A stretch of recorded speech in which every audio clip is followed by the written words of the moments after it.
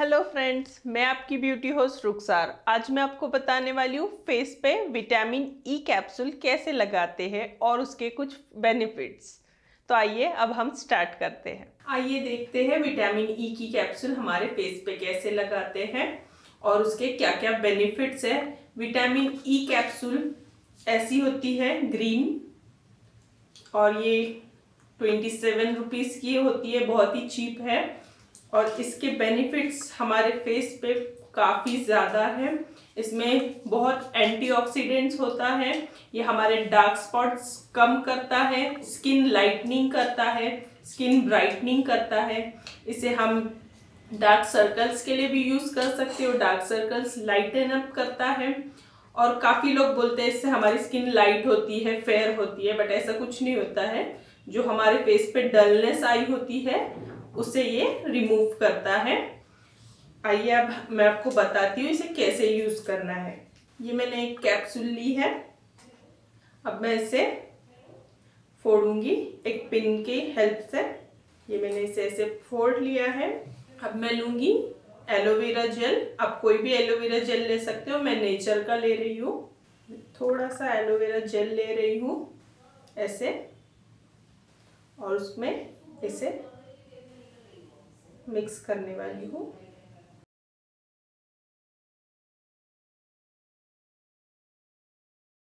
ऐसे हमें मिक्स करना है। आप चाहे तो इसे खा भी सकते हो। या तो फिर आप इसे देख सकते हो, आप एलोवेरा जेल का कलर पूरा चेंज हो गया है और ये क्रीम बन गया है।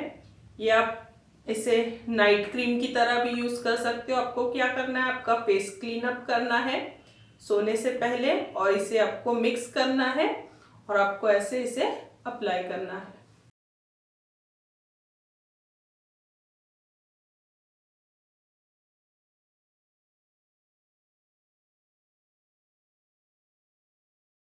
अच्छे से मसाज करना है। ये हमारी स्किन में अच्छे से एब्जॉर्ब हो जाएँगी।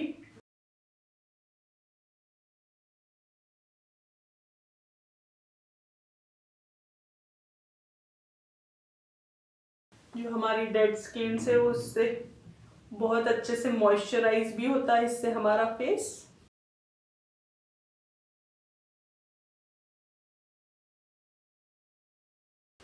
अब देख सकते हो मैं मेरे आई एरिया पर नहीं लगा रही हूँ। क्योंकि इस पे हम डायरेक्ट उसे फोड़ कर दूसरी कैप्सूल लगाएँगे, क्योंकि आपको एलोवेरा जेल नहीं लगाना है।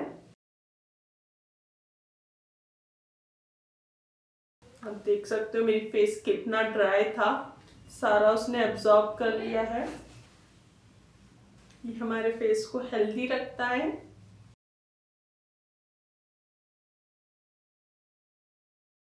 हमारे स्पॉट्स कम होते हैं, जैसे मुझे यहाँ काफ़ी स्पॉट्स हैं।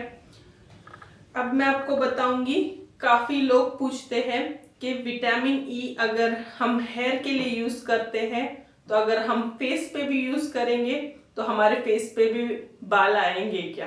बट ऐसा कुछ नहीं है। विटामिन ई कैप्सूल आप खा भी सकते हो, अगर आपको मेडिसिन ज़्यादा खाना पसंद नहीं है।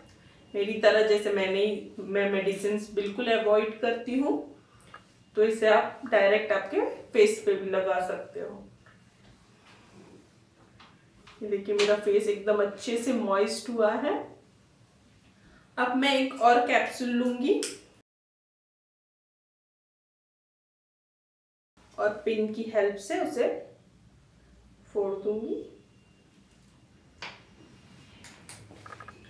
अब हमें क्या करना है? इसे ऐसे ड्रॉप्स लेना है हमारे फिंगर पे, ऐसे, और इसे हमारे आई एरिया पर ऐसे अप्लाई करना है।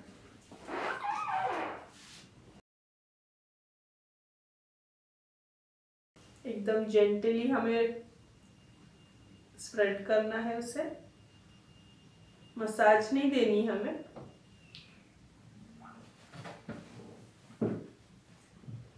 आप इसे चाहे तो आपके मॉइस्चराइज़र में भी यूज़ कर सकते हो। अगर आपको हेल्दी स्किन चाहिए तो आप दिन में भी इसे लगा सकते हो। मॉइस्चराइज़र लेना है आपको थोड़ा सा और उसमें मिक्स करना है और इसे लगाना है।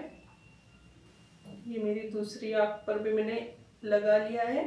इससे जो मेरे डार्क सर्कल्स होंगे ये लाइटन अप हो जाएँगे।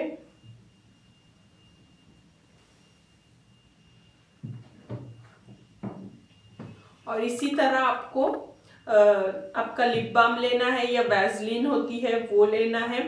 उसमें इसे मिक्स करना है और आपके लिप्स को भी इसे मॉइस्ट करना है। ये लिप मास्क भी बन सकता है। और अगर आपको फेस पैक लगा रहे हो आप, मुल्तानी मिट्टी के काफ़ी सारे ब्रांड्स अवेलेबल है मार्केट में। तो आप कोई भी फेस पैक ले लीजिए, उसमें आप एक कैप्सूल उसमें ऐड करिए रोज़ वाटर डालिए, अगर आपकी स्किन ड्राई है तो मिल्क लीजिए, और उसे मिक्स करके आपके फेस पे आप फेस पैक भी आप बना के इसे यूज़ कर सकते हो।